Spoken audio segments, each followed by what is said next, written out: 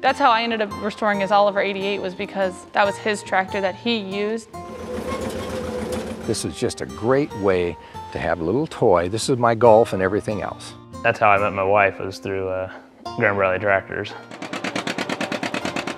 It can be a rough old tractor in its work clothes, grease dripping all over it, but you can use it, have fun, enjoy it. That's what it's about.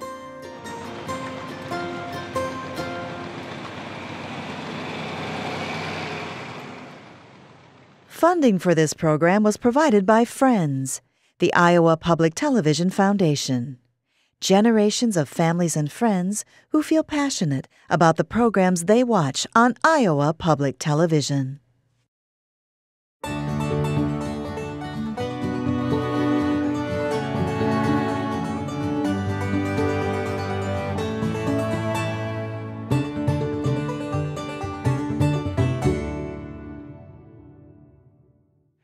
Hello, I'm Mike Pearson. Welcome to Timeless Tractors, The Collectors. In this sea of tractors, I found my favorite color. The Minneapolis Moline G900 I use on my farm is a workhorse with that trademark reliable engine. Now, these mechanical beasts hold a special place, both in the history of agriculture and in the hearts of those who've lovingly restored them. Now, my Mini wears its work clothes. But these tractors have been transformed by Patrick Miller and his siblings into works of art. It's their way of telling the story how these machines revolutionized American agriculture. But it raises the question why do men and women spend countless hours breathing life back into these engineering marvels? Right along with us as we explore the stories of hard work behind the people harvesting history. Timeless Tractors, The Collectors.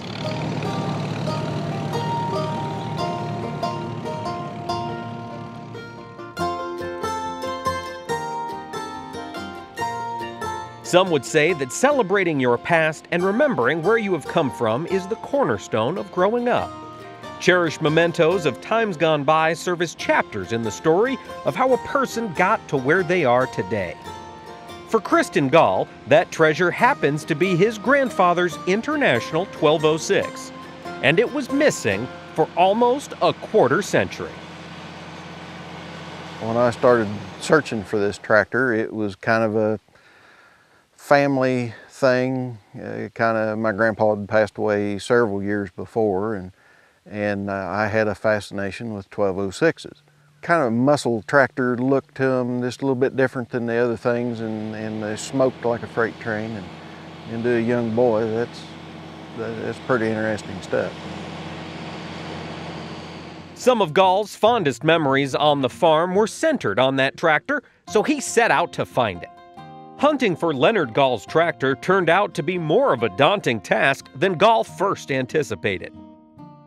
I knew the exact tractor if I ever found it, and I started searching, pestering everybody, you know, do you remember what happened to this tractor? And and one guy says, well, yeah, he said, I kind of remember it was, uh, there was a guy come looked at it on the farm and he bought it, and it didn't even go to the lot when, he, when Grandpa traded it off. He bought it right at the farm.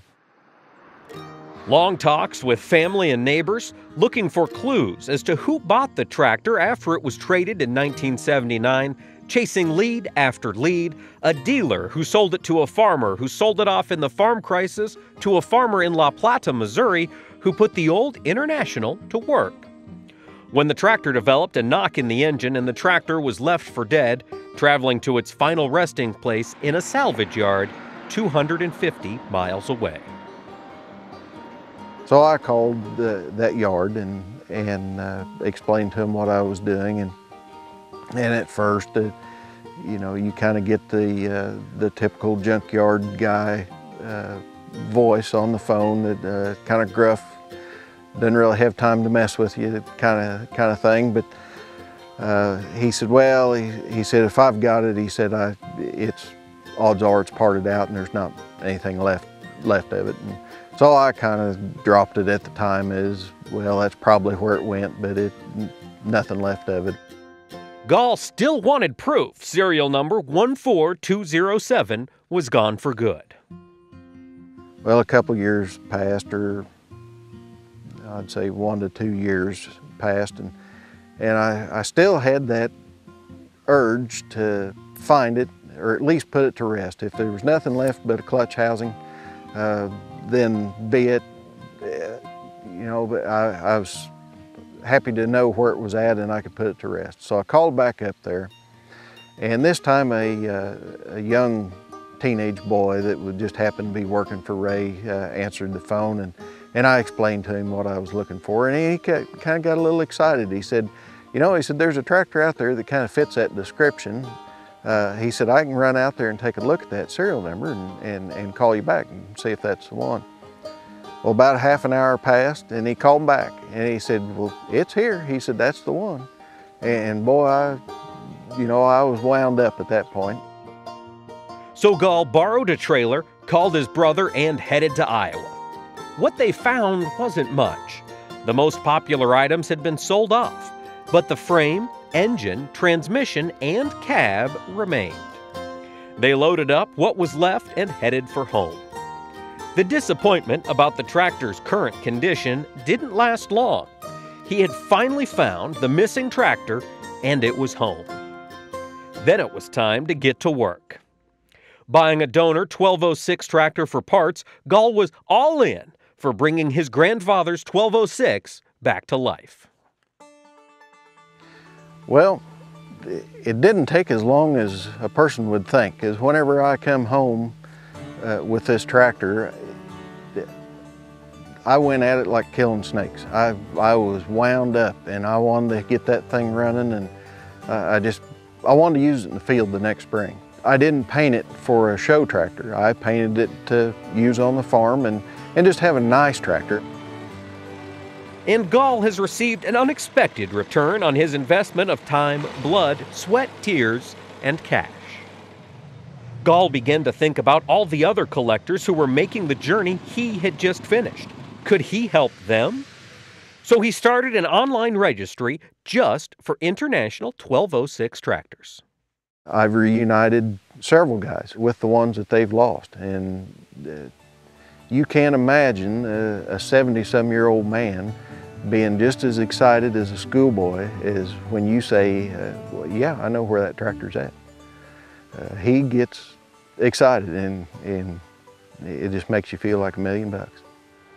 Tractor collecting doesn't have to be about a pretty tractor that you take to show. Uh, tractor collecting is something that you enjoy. It, it, can be a rough old tractor in its work clothes, grease dripping all over it, but you can use it, have fun, enjoy it. That's what it's about. You, you just got to enjoy it.